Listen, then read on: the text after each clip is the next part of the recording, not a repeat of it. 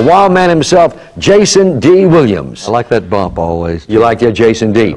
Now, Jason D., I remember when you first came to town, it was snowing, and you played that little old joint right on the corner of the Peabody Hotel, and Jerry Lee Lewis and J.W. Whitten, his road manager, and I came down to see you. Remember that? I remember it well. It was a beautiful day. One, way back, but it was, uh, it was a lot of fun. And that joint you're talking about was at the Peabody Hotel. What was it called? It's called Mallards. Not, And, not uh, there that- anymore.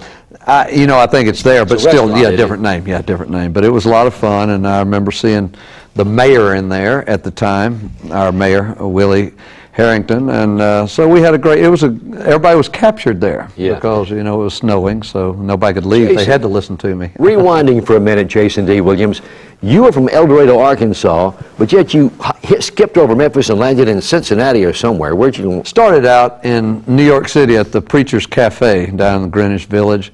Went from there back home pretty quick, and uh, then I wound up with Sleepy LaBeef, an old rockabilly. Sleepy. You know Sleepy? Yeah, and uh, he, matter of fact, did some stuff with Elvis Presley at the Louisiana Hayride. Um, I think, if the story is right, the Sleepy uh, Elvis borrowed a guitar from Sleepy. Now that's what Sleepy says, and I believe it. Well, that could and be, so, yeah, yep. sure. And so I, anyway, I was, went off with him, and um, then wound, found myself up in uh, Georgia, Atlanta, Georgia. Spent a few years there, then came to Memphis. Why did you come to Memphis when it was happening?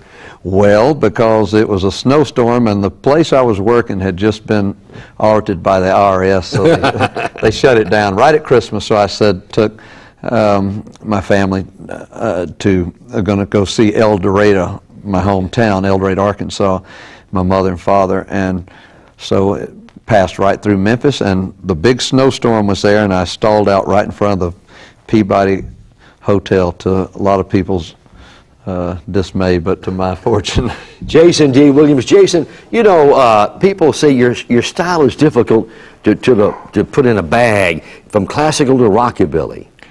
It's got it all on here. I like I say. CD? Yeah, you know, meeting up with Todd Snider, it was really interesting because um, he's um I don't know eccentric to say the least. That's a, a real nice way to uh, say you're schizophrenic, like I am. And so uh, he's a he's a very talented, He's, incredible. he produced this, didn't he? He did produce this record, and so what it is for, for the first time in my life, it uh, seems like it's if you come to see a show, this is the most like a show. And I wrote several of the songs on there.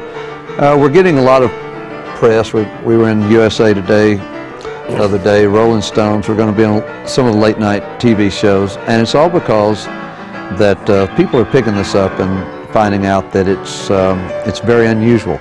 It crosses some lines, and so. Uh, I don't know. It's uh, but it is me. When I we would when we went in the studio, we would record something as it was, and it's uh, it's doing real good.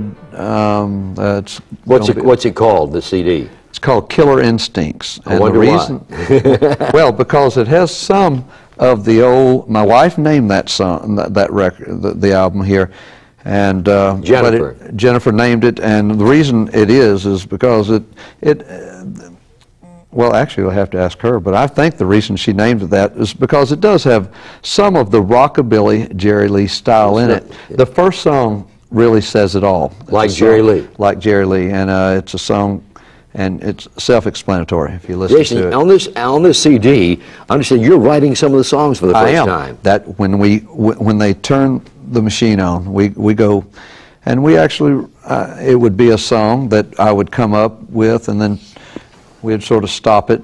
Todd would kind of get it together a little bit. Then we'd go, and from the beginning to the end, we would that would be the tape. And the songs on here are first takes, far as that's concerned. There's no there's no overdubs on any of this No stuff. second. Jerry Lee, I mean, Jason D., uh, I know you love Jerry Lee like a like a father. But really, people want to know, is there any blood relation between you and Jerry Lee? You guys look so similar. You work, you know, like you maybe you'd be his son or something. You know, I was I- I'm asked that constantly, and as I said, the first song on this record is really Tells it all. It tells it all, and uh, it was one take. Todd Snider is a wonderful producer, and he should get into it uh, big time because he's able to pull out Yeah. what is in your heart, eh, or, or me. And it was a situation up in Nashville at Blackbird Studios, which uh, allowed us to do that. We did this in five days, and it was incredible. And we had a lot of we had a lot of uh, the guitar player on here is from Georgia Satellite, Dan Baird. Uh, the bass players from Georgia Satellite. We had Greg Morrow, great drummer. He's incredible. So this is a fun, you know, it's a fun record, but it crosses some lines that uh, if you can't handle it, too uh, too bad. I guess I don't know. I enjoyed it. I tell you what. Jason, if anybody deserves a hit, you do, son. You've been up and down that road 200 days a uh, year is what you play? Yeah, we do about, 200 160 days? shows, yeah. And you did all my Christmas charity shows for me. Really a great guy, great talent. You deserve a hit, my man. Thanks. Well, I don't want to hit George. All I want is uh, a lot of fun. This is, if it turns out to be, we never did anything to make a hit. And how can they pick this up? Download it? Uh, Best it'll- Buy or somewhere? It's, uh, it'll be Best Buy. It'll be all over the country. Yeah. Tell Jennifer, I said, oh, how's the new baby? He's doing great. Canyon's doing great. What's he Can- play, drums or piano? No, I hope he's a track star. I hope he stays away from the music business. Jason D, you're my man. I love you, George. We love you, You're brother. looking good. Jason D. Williams, Memphis Sounds with GK.